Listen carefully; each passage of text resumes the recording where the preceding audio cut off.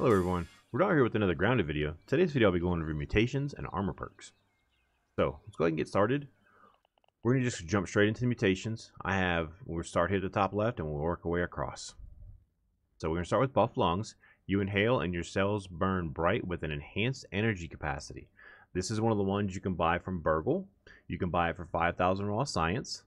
You get it from the Grave Robbery Chip Sleuth mission or the Anthill Chip. It's 5,000 raw science and it gives you increased stamina.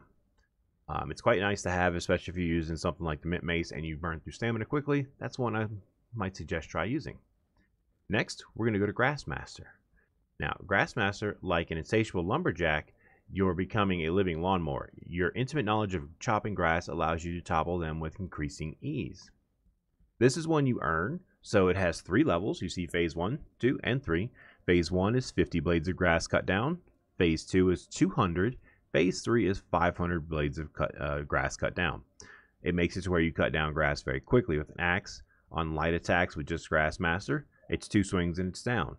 It, with an axe and Grassmaster at 3, and you hold down the swing option. For me, it's left click on the mouse. Max will, or your character, will charge, will hold the swing back and just basically do a heavy hit, and it'll be one hit for my blade of grass. Next, we're going to go to Rockcracker. A path of destruction is left in your wake, and it's clear that busting makes you feel good. Your little arms bring hammers down with an with ever growing efficiency. This one also has three phases. It's one that you unlock. Um, it's 25 uh, either pebbles or um, quartzite broken open. Then there's that's at phase one. Phase two is 75. Phase three is 100. So if you go through the anthill, clearing out all 14 blocks uh, every few days, the second trip through, you'll unlock Rock uh, Rockcracker at phase one, and you just keep going. It also works for pebbles and when you're breaking open clay with a shovel, because it does actually affect those. So Rockcracker at three with a shovel pops open clay in two swings. Next, we have Ant Annihilator. Now, Ant Annihilator is the ant has become a familiar threat and you begin to know your enemy inside and out. Death and devastation greet all ants that face you. It also has three phases. You do more damage to ants based on enemies, and level 3 increases resistance to ants as well. You can kill, for phase 1, kill 50 ants. Phase 2, 100. Phase 3, 50. And that is you actually uh, just killing them. Know, I don't really think it matters. I don't remember if it mattered if I used gas arrows or while swinging. You just swing at them. Next, we have Lil Fist.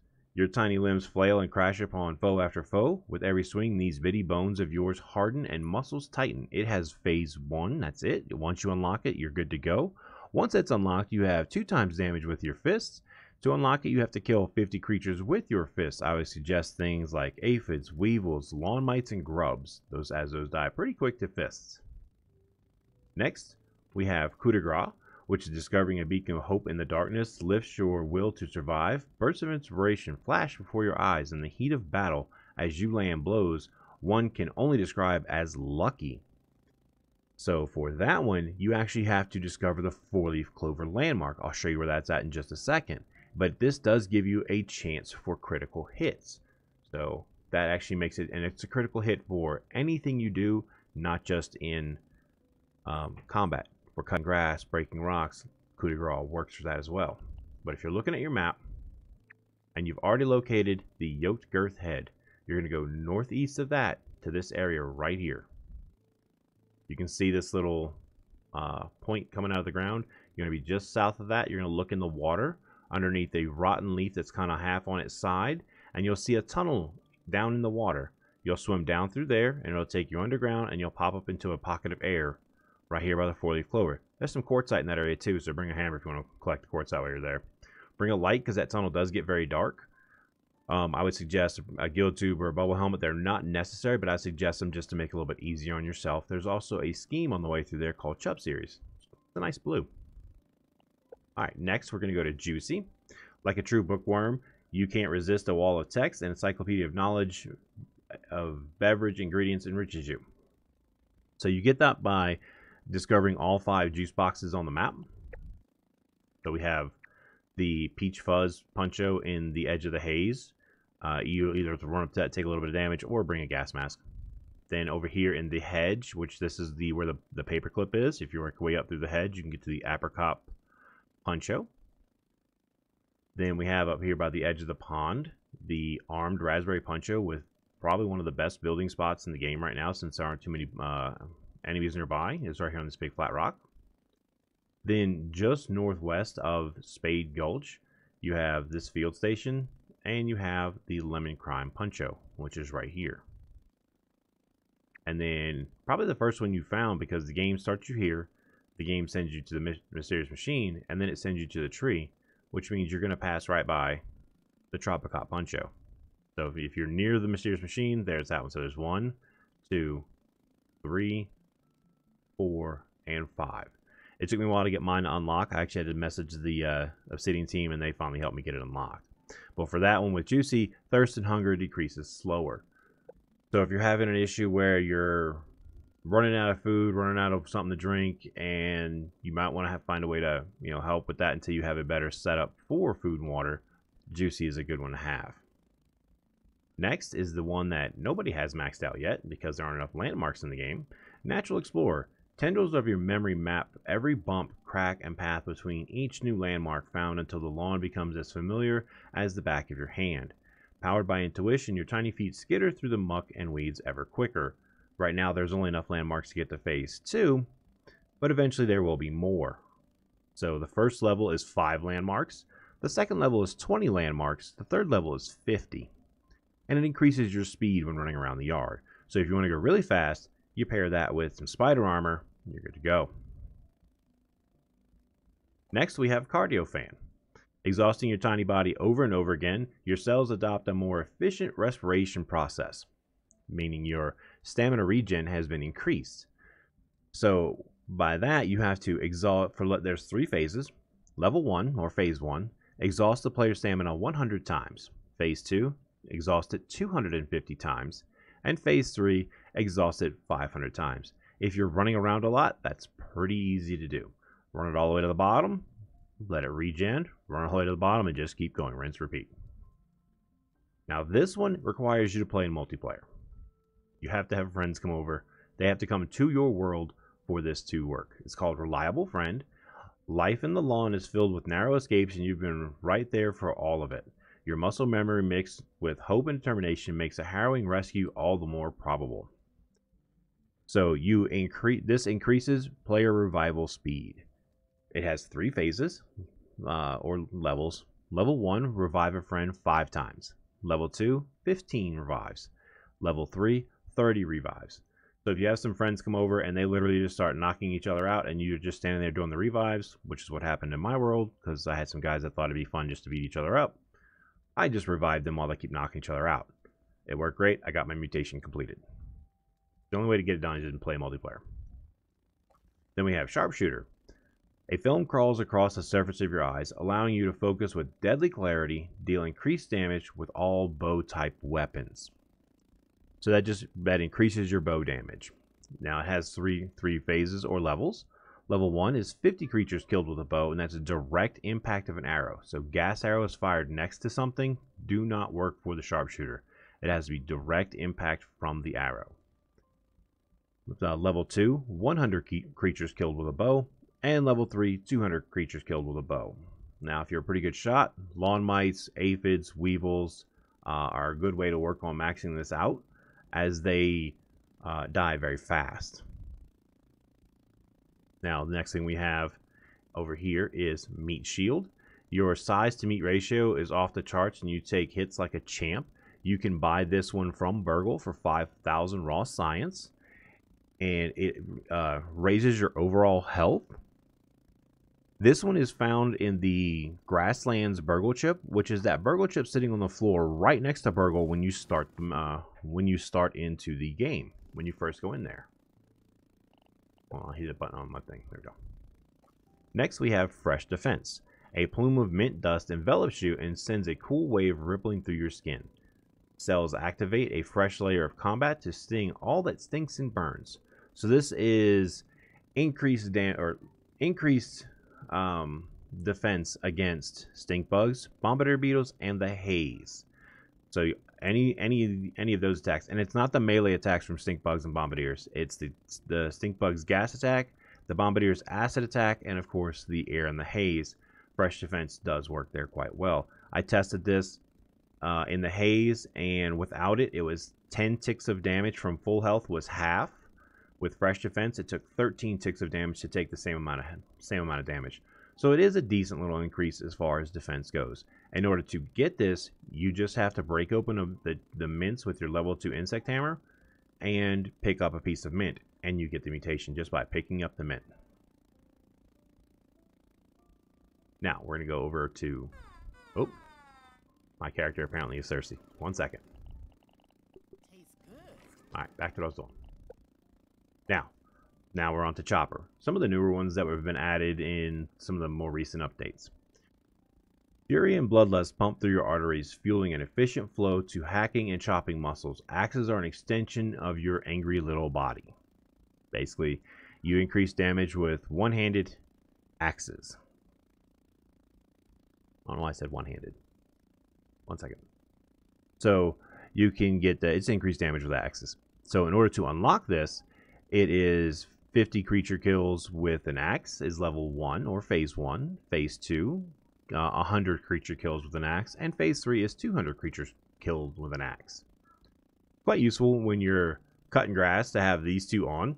In case you get bothered by a bug or whatever, I always like to run this Grassmaster with Chopper and Coup de. So in case I get bothered by a mosquito, which you can hear in the background, the helicopter sound. In case I have to get into a fight, I have I don't have to switch up any weapons or anything, and I can do some decent damage with my axe. Another, uh, obviously, same thing applies. Lawn mites, aphids, weevils, grubs are a great way to work on any of these since they die so fast. Next we have Smasher. Now with Smasher is heavy strokes of power flood your little limbs to bring hammers down with unmatched force and intensity. Equipped uh, with a hammer, your enemies will know true pain. This is the insect hammer or the pebblet hammer. Um, the mint mace mallet, mint mallet now does not work for this one. It works for the a mutation that's coming up uh, a little bit later. But with the for smasher, uh, that's the increased damages increased damage with one-handed hammers.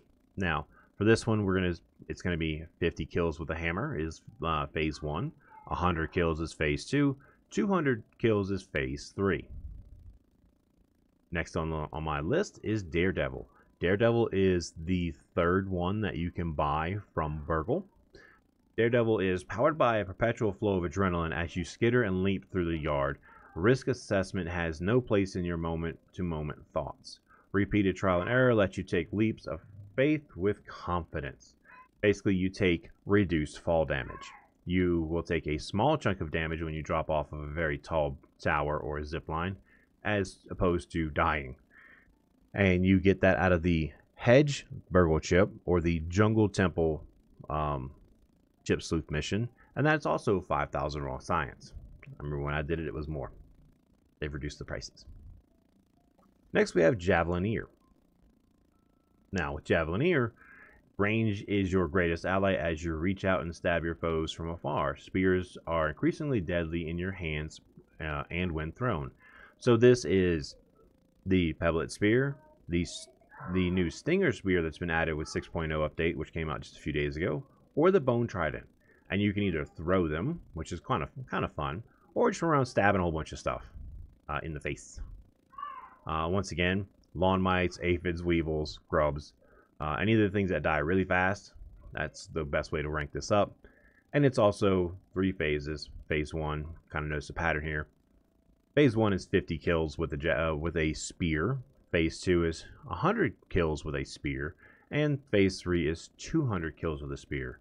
I had fun with mine. I made 20 something um, spears and th threw them at everything in repeated succession after because I hot out, I, I equipped them all and just started throwing them. It was a lot of fun. Next, we have Assassin. Assassin is blades blur in your hands as you swing them with absolute precision. Daggers are your weapon of choice and ensure your, your foes die swiftly. This increases damage with daggers. As with the previous ones, it's three phases. 50 kills with a dagger is phase 1, 100 kills with a dagger is phase 2, 200 kills with a dagger is phase 3. Now, the interesting part about this is if you have Assassin paired with Grassmaster and you want to cut grass with a dagger, you can uh, do the heavy attack, which is the hold down the swing button instead of just click it, and your character will hold his arm behind him for a second, charge up, swing, and cut the grass in one chop. Next, we have Merteen. And Merteen is the push and pull of thick, rich pond water coaxes your gummy little body into becoming a part of this world. Your permeable skin begins to utilize an electro electrochemical gradient that propels your limbs like mighty flagella and aids in respiration. This means you swim faster and you can hold your breath underwater longer. Now, for this one to unlock this one, I've always thought it was just to keep swimming around, and that is actually not correct. It is to discover three underwater landmarks. And by that I mean if you discover this is not underwater, the sunken pot, the uh, wedding ring, and even T Rex. These also are landmarks too. So, all of these we have the T Rex, the pond hatch, the pond dome, the Pond Lab, the Ring, the Sunken Pot, the Depths Mouth. Basically, if you're swimming along the bottom without going into here, and you, you can swim over these three pretty easily. For this one, you have to go down into the hole, but you can get there also quite easily because there's plenty of air. But discovering any of these, not the greenhouse, that's my base there, but any of these, three of them, and you get Merteen. And finally, we have the newest one that came out with zero uh, patches 6.0 which is Barbarian. Strong and reckless, you pride yourself in using the biggest weapons possible. Your muscular arms have no problem swinging clubs with great force. So for this one, the clubs they're referring to, the Spiky Sprig, the Ant Club, or the newly named Mint Mace are all clubs and all affect this. And as you see, it's phase 3, so 50 kills for phase 1, 100 kills for phase 2, 200 kills for phase 3 once you get this to phase three, the Mint Mace plus some Ladybug armor and Barbarian at phase three, plus maybe some coup de grace, and nothing stands a chance when you go after it. It's quite fun to run around with and use, um, and it's always fun. You kind of go through and mix and match your different mutations for different things. So people always ask me, how are you cutting grass with a dagger in one hit? Well, Grassmaster, Assassin, coup de grace, plus uh, the heavy attack, and it cuts it quite easily. Now, we're going to go over some of the armor bonuses. There are one, two, three, four, five, six, seven, eight sets of armor. So for the Clover, which is the, uh, there's no tier to it like these are. So for Clover, there's no tier.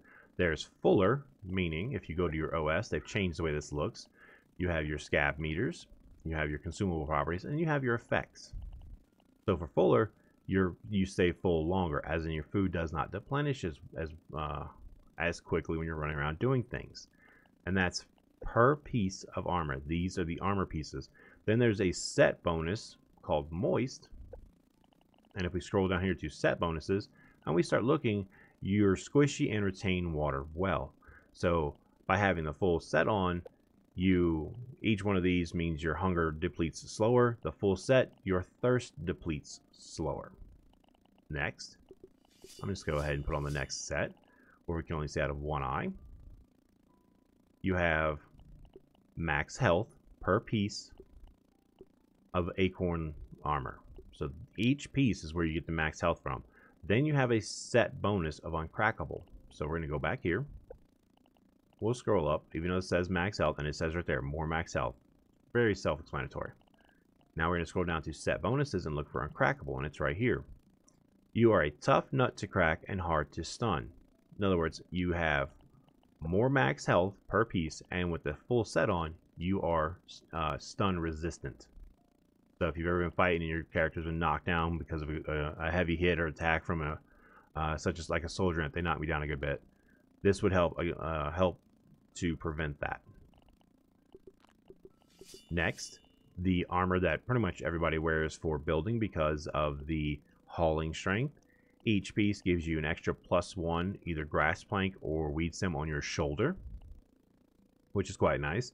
And then you have the set bonus of Hume Ant. So we're going to go down here, and I'm going to go back up, even though it's very self-explanatory in some of these. Hmm. That one's actually not listed. But we all know that when you wear a full set of ant armor without anything else, you can carry 8 pieces of grass or weed stems on your shoulder versus 5. And then Hume Ant, the ants see you as one of them, meaning you can run around the ants, especially the soldiers, and they won't attack you unless you attack them first, in which case you might have a bit of an issue, because the ant armor is not the best for fighting. It's great for building, though. Next, we're going to switch over to the grub set, and you see each each piece increases your max stamina, which is listed right here. The max stamina is per piece. The side effect, the set effect, I'm sorry, is called plump and juicy. Now, if we go down here, plump and juicy, you absorb it and porous and retain water very well, meaning you don't get thirsty as fast while wearing the full set of grub armor. And then the max stamina comes per piece. Now we'll move on. We have probably the best fighting set in the game because if you like to block a lot, and I'm getting better at that, you have increased blocking strength per piece. As you if you put the shield, the new uh, shield as well gives you blocking strength as well. So you can have your blocking strength at max when you have the Weevil shield along with the three pieces of the Ladybug armor. And then you have the set bonus of Scarlet Embrace. So we're going to go back here to the back. Right here. You're a tough nut to crack and hard to stun. This also is very similar to the uh, Acorn armor as far as not being able to stun so well, but this is per piece of armor you're wearing. And then you get Scarlet's Embrace, which is enri enriched blood courses through through you and heals over time. So it's an auto healing effect. You won't have to drink a smoothie or uh, use a bandage if you can get out of combat and just kind of wait and stand around a little bit or just run around and not get in combat. This will heal you over time because of Scarlet's Embrace as long as you're wearing all three pieces. So anti-stun, self-healing. Now we have the Bee armor, which just came out in patch 6.0 just a few days ago. And each piece increases your sprint distance. And the set bonus is called Pollen Shot, which is a very new one. So sprint distance reduces the stamina cost of sprinting, meaning you can run further. Kind of self-explanatory.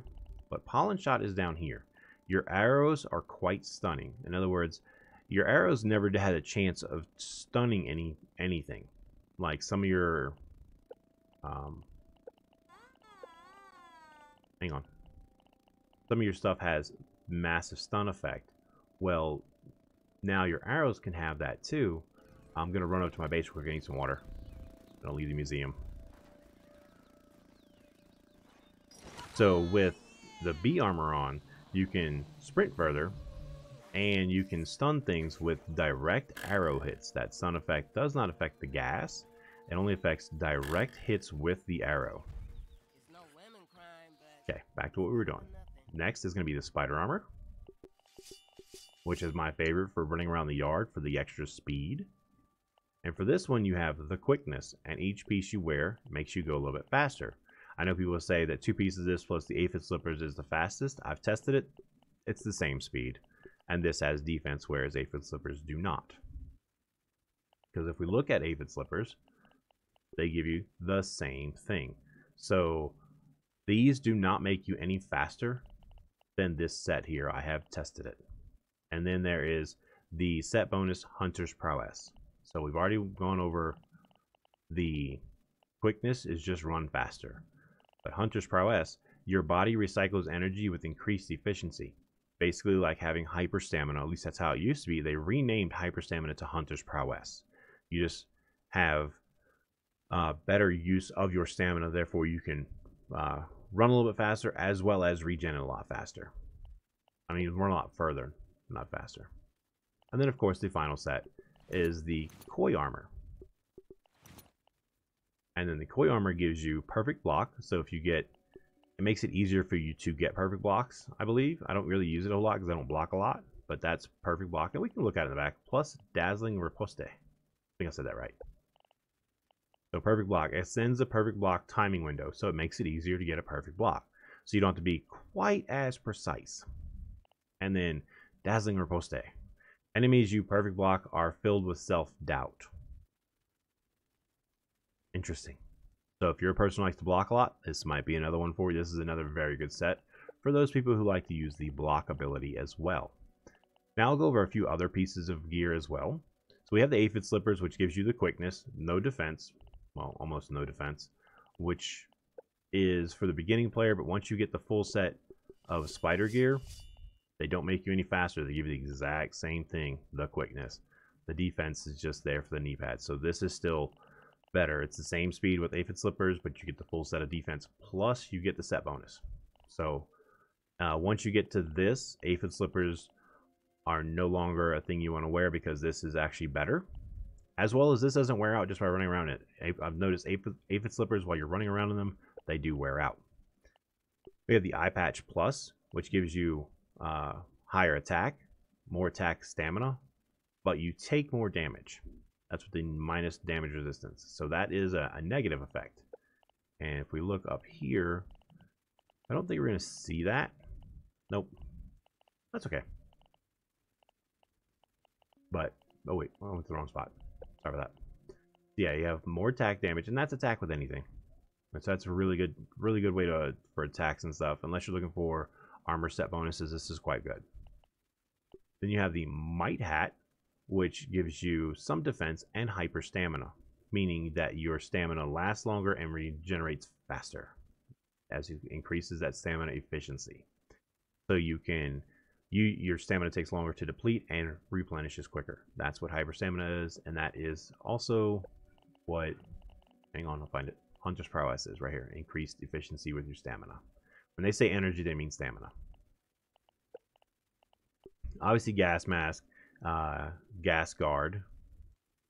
And it has a little bit of defense. It's for running in the haze. It's also if you're going to be melee fighting uh, stink bugs.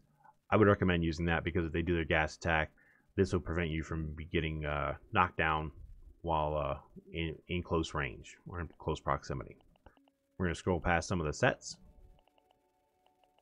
One of the new pieces that was added with 6.0 was the new Firefly headlamp. And it's just a well-crafted helmet that grows grants light while leaving both hands free. Now, if you're a person who plays in third person, only the light directly in front of your character is going to be lit up, such as where that infected weevil, the stuffed infected weevil is, but everything to my left and right would not be lit up. But if you play first person, pretty much everything right in front of where your character, is where you're turning your camera, that's going to be lit up. Only problem is, can't use it in the haze, you'll die to the haze. Can't use it in the anthill because the ants will attack you. Can't use it underwater because you might drown. Still really cool though. Next, we're going to skip that. We're going to go to FinFlops Plus, which to get FinFlops Plus, you find the Sunken Treasure Burgle chip, and I'll have links to all these uh, chips and everything in the description below. And it gives you the recipe for instead of having just swim speed, you get major swim speed. The swim speed increase is, if you're paying attention, noticeable, but if you're not, okay, maybe not so. But once you get the recipe for it, that's the only ones you can make, and you swim a little bit faster. It's the same ingredients, it just faster swim speed. We have our bubble helmet which uh, you have to get the you have to analyze the sunken bone to get that, I believe. And it's veteran diver.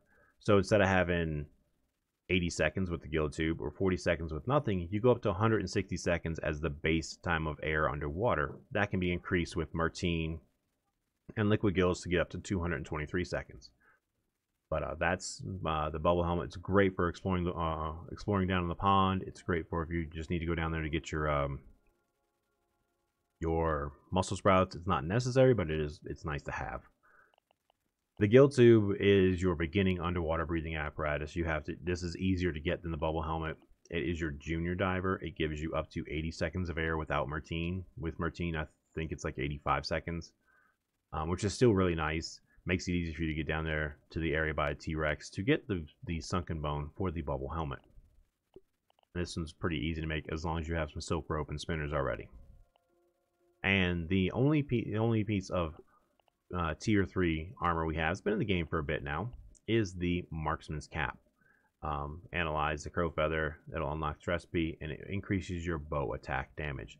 So an in, a tier two insect bow plus the tier two uh, feather arrows.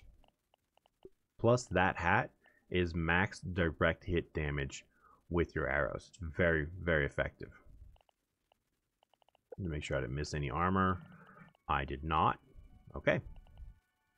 So I kind of want to go over that. I know I've had viewers request that I do a mutation of the video. So I figured, okay, I'll get that knocked out.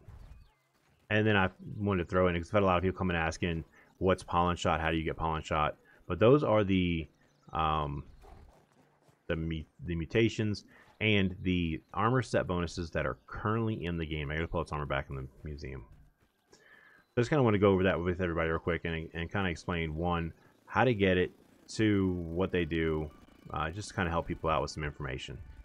But if you guys like this content and like to see more like it, go ahead and hit that like and subscribe button and turn on the bell for notifications. And until the next video, y'all have a good one.